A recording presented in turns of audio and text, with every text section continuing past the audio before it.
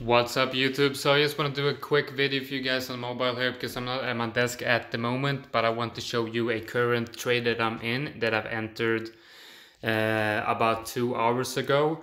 It's a pretty simple breakout trade here on Euro USD. I'm trading this on Prime XBT. I'm shorting it on Oanda but I'm, but I'm trading it on uh, Prime XBT. The levels should be uh, very uh, close on Prime XBT and Oanda. So I'm just gonna go through what I'm seeing here on USD, why I took this trade. It's a bit risky, obviously, because it's more like a breakout trade. Uh, but if like I'm, I, I was able to actively uh, watch this one, so I figured uh, it kind of looks like it wants to come up and test these highs here, right? We got these last highs here where we got the reaction strong, strong, strong reaction and, and, and a powerful move down of that reaction, right? So that's obviously a very important, powerful area.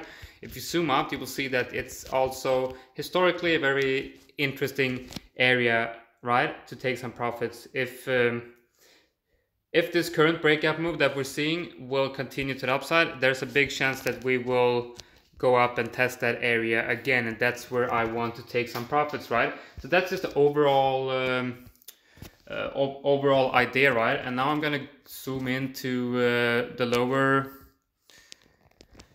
the lower time frames to really show you uh, what I'm looking for in terms of entry. So this red box here is a resistance area, right? And I've been seeing, you know, we saw this breakout here. We did trade this breakout in Birdnest, right? So we saw this uh, breakout out of this area here, right? These highs here, we kind of broke out of uh, broke out of this range. Man, shorting on phone is, is complicated, but I wanted to do this on phone because I need to get this video out as quickly as possible because I'm not going to be at my desk in a couple of hours and I want you guys to be as updated as possible. So we were trading inside inside this range, right? And uh, we broke out of this range now and now I'm looking for a continuation up to this high time frame resistance here. So going down into the four hour, the one hour, sorry, we are seeing a breakout out of this range. And I was looking at these highs right here. I wouldn't enter on these highs. I did, right? And I did enter when we had the one hour open and close above this resistance, confirming it uh, broken, right? So what I did was I will put in some orders on the retest here. This is obviously a little bit riskier because it's more like a breakout trade. If you were wanting to, you know, long the retest after a breakout, you would most likely look at the four hour, wait for the four hour close, uh, open and close above, then long the retest of like this general area down here. But this is more like a bit riskier trade, low, lower risk. Uh, I wanted to long the, the, the entry, like long the retest of this these highs right here, right? For a move up towards this area up here, the 1.11400, right?